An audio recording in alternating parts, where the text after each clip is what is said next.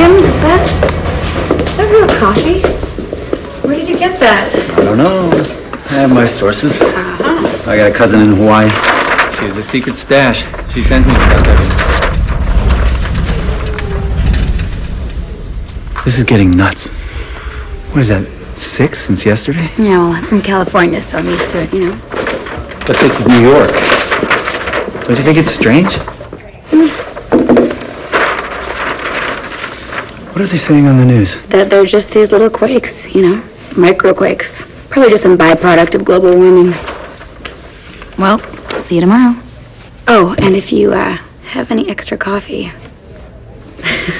Night, Pauline. Night. We've been plotting the epicenter of each microquake looking for some sort of pattern. Can you regress any of the data points? A waste of time. This attempt to impose order on random, meaningless data. At the same thing 25 years ago when the car came over, trying to determine why, why there, why did it land in the middle of the quad. The answer is there is no answer. Except mass. The two cars, you said they were the same mass. Okay, you two have something going on. Do you want to fill me in? Walter seems to think that the two universes have to be in balance. So a building from over there travels over here, that means a building from over here of exactly the same mass has to travel yeah, back. yeah, yeah, Raiders of the Lost Ark. The bag of sand in the idol. Not the metaphor I would have used, but yes, exactly. You have a pencil. I Have a pen.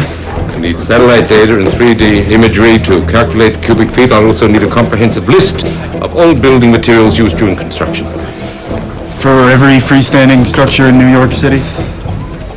Oh, I think we can rule out the Empire State Building.